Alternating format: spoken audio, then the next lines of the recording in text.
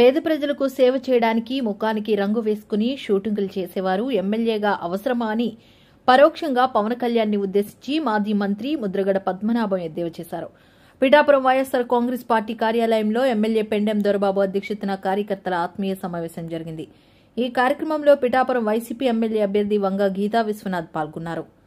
ఈ సమావేశంకు ముద్రగడ పద్మనాభం ముఖ్య అతిథిగా పాల్గొని మాట్లాడుతూ నా కుటుంబంలోనే చిచ్చుపెట్టిన ఘనత ప్రత్యర్థులకు దక్కిందని నేను ఎవరికీ భయపడేది లొంగిపోయేది లేదని పార్టీలో చేరిన తర్వాత పక్కచూపులు చూసే తత్వం నాది కాదని అన్నారు. ఎప్పటికీ వైసీపీలోనే పదవకాంక్ష లేకుండా సేవ చేస్తామని అన్నారు. ఈ కార్యక్రమంలో పిఠాపురం వైసీపీ నాయకులు కార్యకర్తలు తదితరులు పాల్గొన్నారు. భయపడలేదు మా అమ్మాయి మామగారు రెండు వేల ఎనిమిది తొమ్మిది నుంచి పిఆర్పిలో పార్టీలో ఉన్నారండి. చిరంజీవి గారికి విపరీతమైన సేవ చేశారు ఆయన. ఆ గుర్తు కోసం సుప్రీంకోర్టుకి వెళ్తాం హైకోర్టుకి వెళ్తాం ఎలక్షన్ కమిషన్ ఆఫీస్కి వెళ్తాం. ఇవన్నీ చేసిన మనిషి. రెండు వేల తొమ్మిదిలోని ఎమ్మెల్యే కాంగ్రెస్ పార్టీని పోటీ చేస్తే కూడా ఆయన పిటి పిఆర్పి ప్రచారం చేసుకున్నారండి. అప్పటి నుంచి సంబంధాలు అంతంత మాత్రమే మాకు మాకు. నిన్నటి రోజున జగన్మోహన్ రెడ్డి గారు నన్ను వాడుకుని వదిలేస్తారు.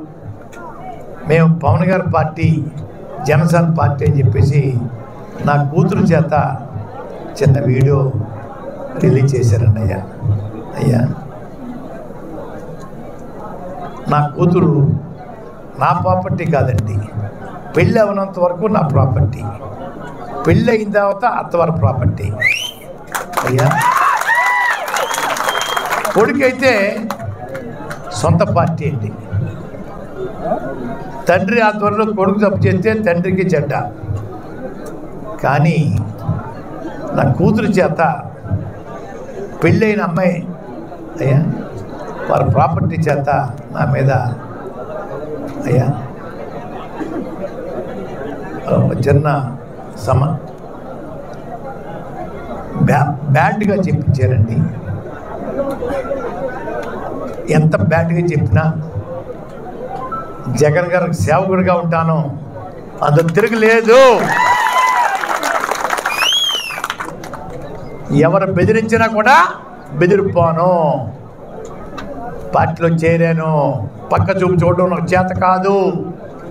కూతురు చేత ఈకుడి చేత ఈకుడి కుటుంబం చేత తిట్టించిన కూడా లెక్క చేయను లెక్క చేయను లెక్క చేయను. ఎవరో మహానుభావుడు. చిచ్చు పెట్టడానికి ఆలోచన చేశారండి. చిచ్చు పెట్టిన వారు ఎంత హ్యాపీగా ఉంటారో నేను నా కళ్ళతో చూస్తాను. అయ్యా ఈ చిచ్చు పెట్టి గుణం ఉన్న మనిషి ఎప్పుడూ ఎదుగుదలకు రారు రారు రారు. భగవంతుడు వాళ్ళు చూస్తూ ఉంటారు కనుతోటి. అయ్యా ఈరోజు బాధాకరమైన వార్త మీ ముందుకు చెప్పే అవకాశం వచ్చిందండి. నిన్న చూశాను. బాధపడినా కూడా నేను భయపడలేదు. భయపడిన కూడా. అయ్యా పార్టీలో నన్ను ఆహ్వానించారు జగన్మోహన్ రెడ్డి గారు.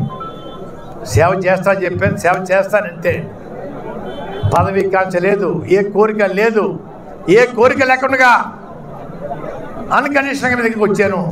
మీరు మీ ఆహ్వానం మేరకు అని చెప్పి చెప్పానండి. తర్వాత మీ అందరి దయ వల్ల వారు ముఖ్యమంత్రి అయిన తర్వాత ఏదైనా ప్రజలకు సేవ చేసే అవకాశం ఇస్తే అప్పుడు చూస్తానండి. అది కూడా వారంతర వారు పిలిచి ఇస్తేనే తీసుకున్నాను తప్ప నా అంతా నేను రోజు ములుగుచ్చేసి నా పదవేటి నా పదవేటి అని చెప్పి అడిగే తత్వం కాదండి అయ్యా. అయ్యా. నా వల్ల తలపోటు వచ్చిందన్న మాట తెచ్చుకునే ఉద్దేశం నాకు లేదండి. అయ్యా. మీద నిలబడి పవన్ కళ్యాణ్ గారు షూటింగ్ కోసం ముఖ్యమంత్రి పదవి కావాలంట సారీ ఎమ్మెల్యే పదవి కావాలంట. అది ఎంతవరకు న్యాయమో చూడండి అయ్యా. పేదలకు సర్వీస్ చేయడం కోసం మనం ప్రతినిధి ఎన్నుకుంటాం తప్ప షూటింగ్ల కోసం ప్రతినిధి మనం ఎన్నుకోవండి. అట్లాంటిది హైదరాబాద్ నుంచి పిఠాపురం వచ్చేసేసి ముఖాన్ని రంగు వచ్చేసేసి దాన్ని ఎమ్మెల్యే చేసేమని చెప్పి అడుగుతూ ఉన్నారు. హైదరాబాద్లోనే చాలా నియోజకవర్గాలు ఉన్నాయండి ఆ నియోజకవర్గాల్లో చాలామంది పెట్టారు మన ఎలక్షన్లో ఎమ్మెల్యేలని. లక్షలాది ఓట్లతో మెజార్టీతో గెలిచారు అందరూ అక్కడ నిలబడటం మానేసేసి ఇక్కడ రావటం అనేది అర్థం చేసుకోండి. వీరికి పదవులు కావాలంట. ప్రజల సంక్షేమం వారు మంచి పాలు పంచుకోవాలటండి. దానికోసం మనకి వచ్చేసేసి ఒక రంగు వేసుకుని అందంగా కనపడుతూ అయ్యా ఉద్రేకం చూపిస్తూ ఆవేశం చూపిస్తూ కోపం చూపిస్తూ రకరకాల భాషల్లో రకరకాల బూతులతో మన జగన్మోహన్ రెడ్డి గారిని ఇతర నాయకుల్ని రోజు తిట్టిపోసే కార్యక్రమం తీసుకోవడం బాగా అది ఎంతవరకు న్యాయమని అడుగుతా ఉన్నాను? రాజకీయాలు ఉంటాయి.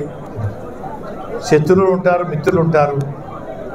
వే వేటికి కూడా శాశ్వత మిత్రులు ఉండరు శాశ్వత శత్రువులు ఉంటారు కానీ బూతులు మాట్లాడటం వల్ల జీవితంలో ఆ మనిషి యొక్క పక్కన చేరకూడదనే భావం కలిగేలాగా చంద్రబాబు నాయుడు గారి శిష్యులు మాట్లాడుతూ ఉన్నారండి. ఆ మధ్య మాట్లాడుతూ పిఠాపురంలో మనందరం అమ్ముడైపోయి జాతటండి లక్ష ఓట్లు లక్ష రూపాయలతోటి ఓటు కొని ఆయన ఓడించడానికి జగన్మోహన్ రెడ్డి గారు వారి నాయకత్వంలో ఉన్న మాలాంటి వాళ్ళందరం ప్రయత్నం చేస్తున్నామంట. వారికి ఒక జబ్బు ఉందండి. మనకు కూడా అదే జబ్బు ఉందని చెప్పేసి వారు చెప్తా ఉన్నారు. ఆలోచించండి అయ్యా. మనం డబ్బు కమ్ముడైపోయి ఓట్లు వేసే మనిషిలాగా మనం చూస్తూ ఉన్నారు.